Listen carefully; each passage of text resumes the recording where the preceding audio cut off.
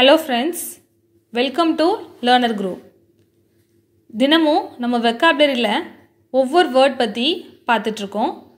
இன்றைக்கி நம்ம பார்க்க போகிற word of the day word என்னன்னு பார்த்தீங்கன்னா விங்க் விங்க் அப்படிங்கிறது என்ன மா என்ன டைப்பான வார்த்தை?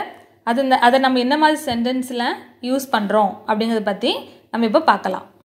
Wink is a verb or noun அதாவது விங் அப்படிங்கிற வார்த்தையை நம்ம பெயர் சொல்லா மற்றும் வினை சொல்லா எடுத்துக்கலாம். விங்க் அப்படிங்கிறதோட கரெக்டான தமிழ் மீனிங் என்னன்னு பார்த்தீங்கன்னா வேகமாய் இமை அல்லது கண் சிமிட்டுதல். இல்லைன்னா இமை கொட்டு சொல்லுவோம் இல்லையா? ஸோ இந்த மாதிரி வேர்ட் தான் இதனோட Tamil meaning. A reflex that closes and opens the eyes rapidly அதாவது கண்களை வந்து நம்ம திறந்து திறந்து மூடு மூடக்கூடிய அந்த ஒரு பிரதிபலிப்பு இருக்கு இல்லையா?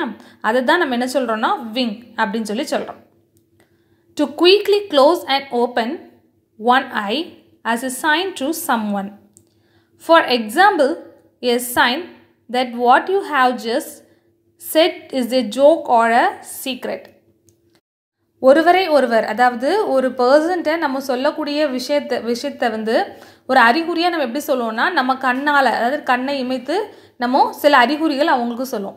இப்போ எக்ஸாம்பிளுக்கு பார்த்தீங்கன்னா உதாரணமாக நீங்கள் சொல்லக்கூடிய ஒரு விஷயங்கள் அதாவது நகைச்சுவையாக இருக்கலாம் இல்லைன்னா ஒரு ரகசியமாக இருக்கலாம் அது நம்ம சொல்லும்போது எப்படி சொல்லுவோம்? நம்ம கண்ணால் கண்ணை இமைத்து நம்ம சொல்லுவோம் இல்லையா? இதுதான் நம்ம விங்க் அப்படின்னு சொல்கிறோம் நெக்ஸ்ட்டு பார்த்தீங்கன்னா நம்ம இப்போது டிஃப்ரெண்ட் பார்க்க போகிறோம் விங் அண்டு கிளிம்முக்குள்ளது ஸோ கிளிம் அப்படின்னு பார்த்தீங்கன்னா if an object or a surface Glimpse.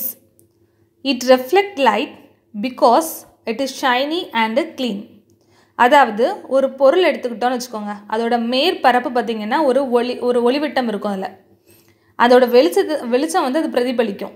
ஏன்னா அது வந்து பளபளப்பாகவும் சுத்தமாகவும் இருக்கிறதுனால அதுக்கு மேலே வந்து ஒரு ஒளி பிரதிபலிக்கிறது. இதை தான் நம்ம என்ன சொல்கிறோம்னா கிளிம் அப்படின்னு சொல்லி சொல்கிறோம் இதே இது பார்த்தீங்கன்னா விங்க் அப்படின்னு பார்த்தீங்கன்னா reflex that closes and open that eyes rapidly அதாவது நம்ம கண்ணை திறந்து திறந்து மூடக்கூடிய ஒரு பிரதிபலிப்பை தான் நம்ம என்ன சொல்கிறோன்னா விங்க் அப்படின்னு நம்ம சொல்கிறோம் நெக்ஸ்ட்டு விங்க் அப்படிங்கிற வேர்டோட ஆர்ஜின் என்னன்னு நம்ம இப்போ பார்க்கலாம். விங்கோட வேர்டோட ஓல்டு இங்கிலீஷ் அதாவது வின்சியன் W I N C I A N வின்சியன் அந்த வேர்டோட மீனிங் பார்த்தீங்கன்னா க்ளோஸ் த ஐஸ் ஸோ இதுதான் ஜெர்மனியோட தோற்றத்தில் எப்படி வந்துச்சுன்னா German விங்கன் W I N K E N so இதுக்கு பார்த்தீங்கன்னா வேவ் அதாவது அலைகள் அந்த மாதிரி இதுக்கு மீனாச்சு. ஸோ இதுலேருந்து வந்த வார்த்தை தான் நம்ம என்ன சொல்கிறோம்னா வின்ஸ் டபிள்யூ ஐஎன்சிஇ ஸோ இப்படி தான் விங்கோட தோற்றம் வந்து உருவானது. நெக்ஸ்ட்டு இதை பற்றின சில உதாரணங்கள் எக்ஸாம்பிள்ஸ் பற்றி நம்ம இப்போ பார்க்கலாம். Fiona winked so I know she was joking அதாவது ஃபியோனா வந்து அந்த இடத்துல அவள் பேசிகிட்டு இருக்கா. பேசுகிற வார்த்தைகள் எல்லாமே அவள் நகைச்சுவையாக பேசுகிறா அப்படிங்கிறது எனக்கு தெரியும். ஏன்னா அவள் கண்மூடித்தனமாக அவள் பேசுகிற வார்த்தைகள் எல்லாம் இருக்குது. ஸோ அதனால் அவள் பேசுகிற வார்த்தைகள் நகைச்சுவை அப்படிங்கிறது எனக்கு தெரியும் அப்படிங்கிறது அதனோட மீனிங் இல்லை பார்த்தீங்கன்னா கண்மூடித்தனமாக அப்படிங்கிறது தான் நம்ம குறிப்பிடத்தக்கக்கூடிய ஒரு வார்த்தை. நெக்ஸ்ட் பார்த்தீங்கன்னா Steve wink several times in surprise அதாவது ஸ்டிவ் வந்து ஆச்சரியத்தில் பல முறை வந்து கண்ணை என்ன பண்ணார்னா மூடிக்கொண்டார்.